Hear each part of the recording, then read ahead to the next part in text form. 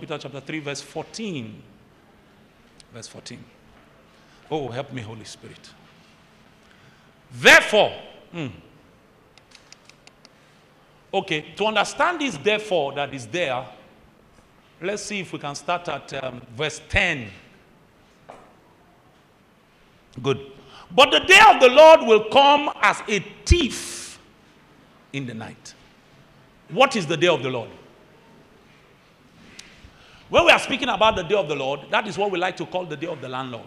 That is when the Lord will return to take over the earth, to gather in the harvest, and to establish his kingdom and dominion of righteousness. It's the day of the Lord. The day of the Lord is also the day of judgment. It's the day of judgment.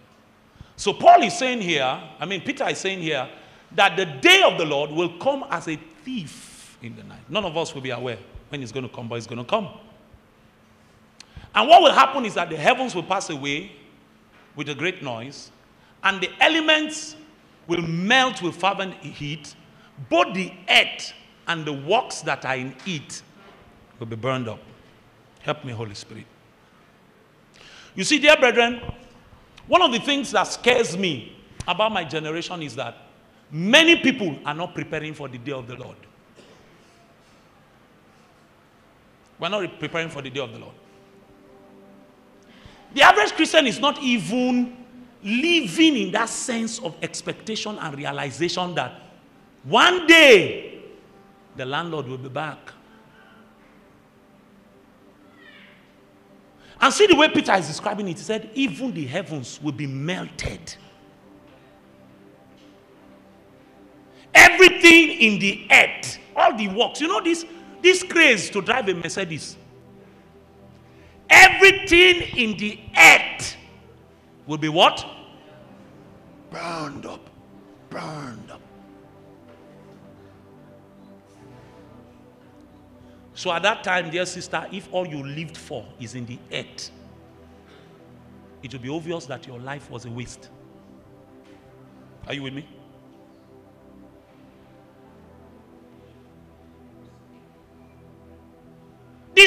Things that we are trying to kill ourselves for in the day of the Lord, they will not matter.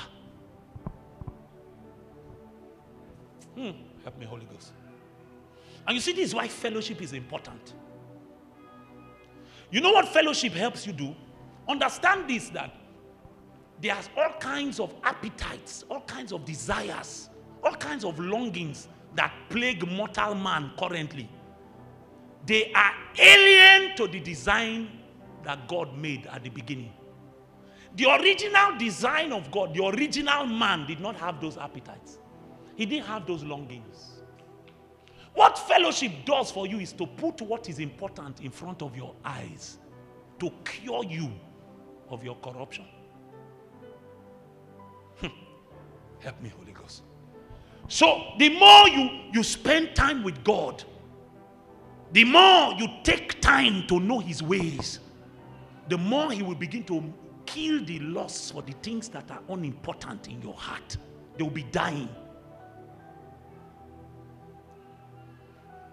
If you find a man that has truly learned how to be with God, one of the signs that he is true is that everything in this realm will be like dung to him. They will not have power over his soul.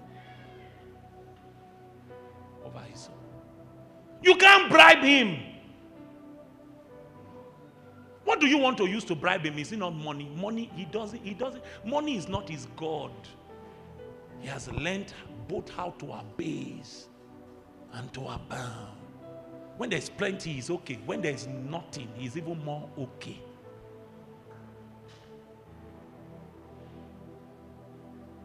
Fellowship is a system God uses to purge, He uses it to cleanse. So the more you are looking at Him, the more hunger for Him becomes greater than hunger for food. I have elevated your law above my necessary food. Melivana. The reason a man can elevate God's word above food that is necessary is that he's seeing something. He wants God.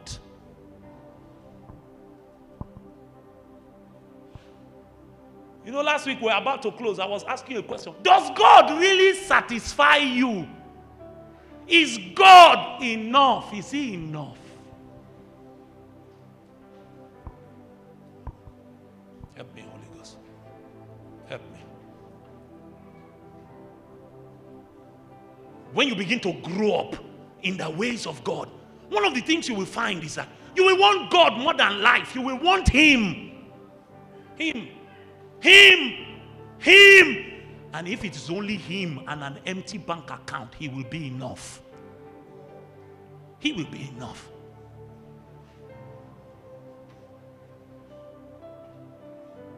The reason we are raising Christians that can steal, lie, fornicate is because when we enter into the realm of fellowship, it's not God we are seeing. We are seeing all the things that He can give us, not Him.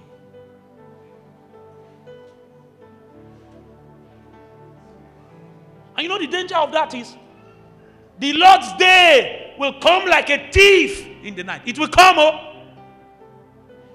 And all these things you are doing everything to get. You are, oh my God. You are trying. You want to die. Just to get rich or die trying. All these things, they will be burned up. The Bible says everything will be naked before his eyes. Everything.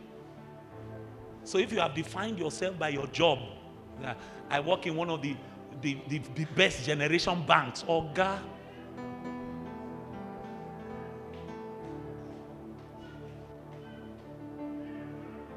Say, my, my salary is in six figures.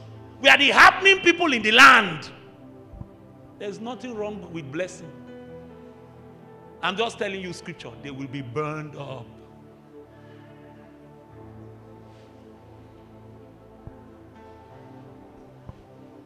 So when you begin to grow in grace, oh my God, help me, Holy Spirit. you are growing in grace. And we are going to get there. You're not only growing in grace, you are growing in the knowledge of God. What fellowship begins to do for you, brother, is that it, it focuses your sight.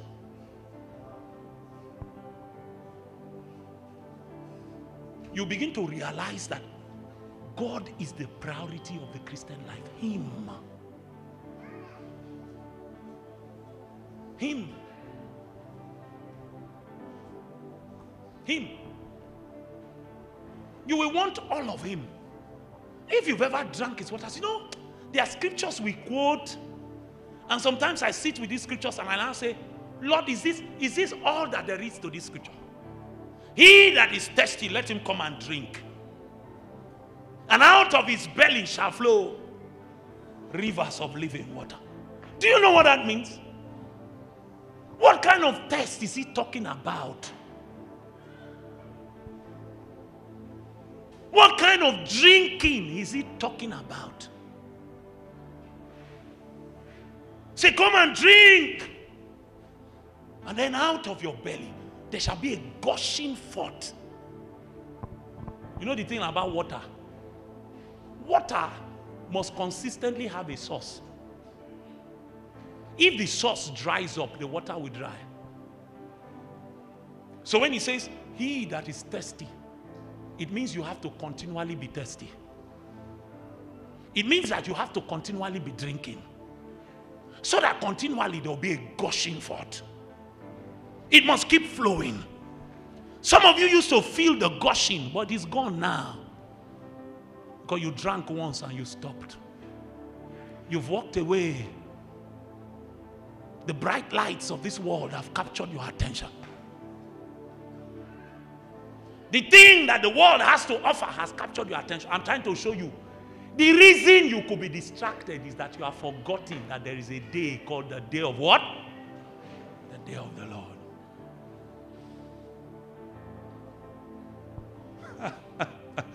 And when that day comes, every man will be naked. All of us will be stripped naked to bare bone. Who you are in the secret places of your life become visible to his eyes. And not only to his eyes, to all men. Because even the heavens will melt. The heavens, they will, they will the, the way the heavens are going to pass, the Bible says it will be with great noise.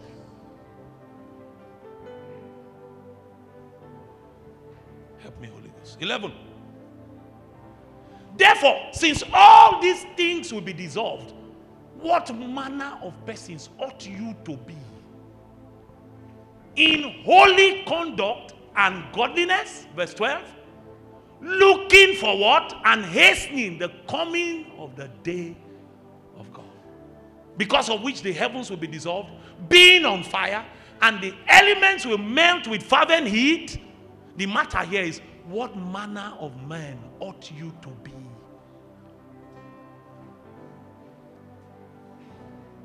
If you know that the day of the Lord is coming, what kind, how are you supposed to be living on a daily basis? How?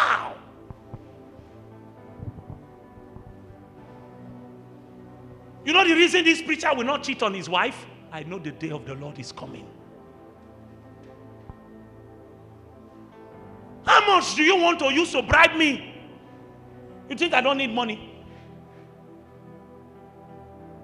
The things I need to do with money now, if you give me 20 million, you can't solve it. I need money. But I know that the day of the Lord is coming. There's a way to conduct yourself. Go back to verse 11. Go back to verse 11. Verse 11. Help me now. He says, What manner of persons ought you to be? In what? I know, I know, I know you are you are here. In what? And what? Godliness. Holy, what is holy? I've taught you before. In a conduct that proves that you have been separated and sanctified unto God. To be holy is to be separated. He says that what manner of persons ought you to be in separation and sanctification. So when we see your conduct, we can tell that, ah, this one is separated and sanctified totally